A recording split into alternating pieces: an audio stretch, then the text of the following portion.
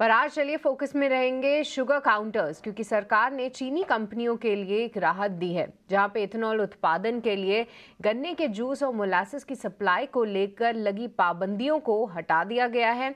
आइए इस पर और जानकारी लेते हैं। हमारे संवाददाता समीर दीक्षित हमारे साथ हैं, ये पूरी डिटेल्स के लिए। समीर, बताइए, क्या कुछ खबर है शुगर काउंटर्स के लिए? शुगर कंपनियों और साथ ही साथ एथेनॉल बनाने वाली कंपनियों के लिए बड़ी राहत की बात है। सरकार ने जो शुगर कंपनियों या फिर एथेनॉल बनाने वाली कंपनियों पर ये जो पाबंदी लगाई थी कि वो शुगर केन, जूस या सिरप का, या फिर बी हैवी मोलासिस या सी हैवी मोलासिस का इस्तेमाल नहीं कर सकती हैं एथेनॉल बनाने के लिए, ये पाबंदी अब हटा ली गई है। Department of food and public distribution की तरफ़ से जो नया आदेश जारी किया गया है, उसमें ये राहत देते हुए कहा गया है कि अब शुगर कंपनियाँ या एथेनॉल कंपनियाँ वो शुगर केन, जूस या सिरप का इस्तेमाल कर सकती हैं। एथेनॉल बनाने के लिए बी हैवी मोलासेस या सी हैवी मोलासेस का भी वो इस्तेमाल कर सकती हैं एथेनॉल बनाने के लिए। दरअसल पिछले साल दिसंबर में सरकार ने ये पाबंदी को लेकर के आदेश जारी किया था और तब तीन प्रमुख कारण इसके पीछे बताए गए थे। सबसे पहला कारण यह है कि घरेलू बाज़ार में शुगर की उपलब्धता को सुनिश्चित करना, साथ ही साथ जो शुगर की कीमतें हैं, उनको भी नियंत्रित रखना और इसके अलावा जो एथेनॉल ब्लेंडिंग टारगेट है सरकार का, उसके लिए जो एथेनॉल कंपनी है या शुगर कंपनियाँ हैं, उनको प्रोत्साहित करना कि वो चावल या फिर मेज के ज़रिए, मक्का के ज़रिए वो एथेनॉल बनाए।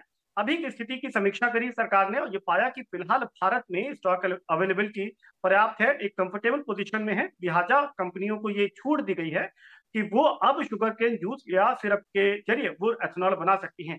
एक और राहत की बात ये भी है कि अब ये जो एथेनॉल बनाने वाली कंपनियाँ हैं, ये FCI food corporation of India के जो ऑप्शन प्रोसेस होता है चावल को लेकर के, उसमें भी पार्टिसिपेट कर सकते हैं। यानी कि चावल का ऑप्शन प्रोसेस के ज़रिए वो उसको उसको खरीद सकती हैं और इसके ज़रिए भी, इस चावल के ज़रिए भी वो एथेनॉल प्रोडक्शन में उसका इस्तेमाल कर सकती हैं। तो ये बड़े फैसले सरकार की तरफ़ से उठाए गए हैं।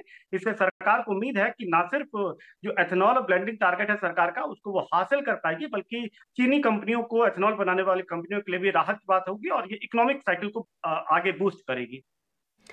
जी बिल्कुल समीर बहुत बहुत शुक्रिया ये आ, पूरी खबर हमें समझाने के लिए। तो जहाँ पे शुगर कंपनीज़ के लिए एक पॉजिटिव ट्रिगर साबित हो सकती है खबर क्योंकि आपको याद होगा पिछले साल जब ये रिस्ट्रिक्शंस लगी थी इथनॉल प्रोडक्शन में जो ब्लेंडिंग को लेकर जो इनके टारगेट सेट कर दिए गए थे एक सीमा लगा दी गई थी तब स्टॉक्स में भारी रिएक्शन भी आया था। पर अब देखिए शुगर काउंटर्स जो हैं, कई समय से अच्छा प्रदर्शन कर रहे हैं।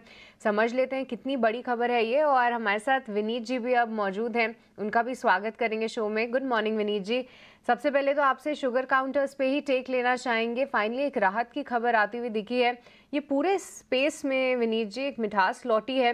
हालाँकि हम आ, ये भी देख रहे हैं कि अभी एक्सपोर्ट बैन को लेकर क्या कुछ खबरें आती हैं पर आपकी क्या एनालिसिस है? ये खबर कितनी पॉजिटिव साबित हो सकती है सेक्टर के लिए? नहीं डेफिनेटली बेहतरीन पॉलिसी है। ये आप प्रॉफिट मैक्सिमाइज कर पाएगी कंपनी अपने ऑप्टिमम कैपेसिटी यूटिलाइजेशन के चलते।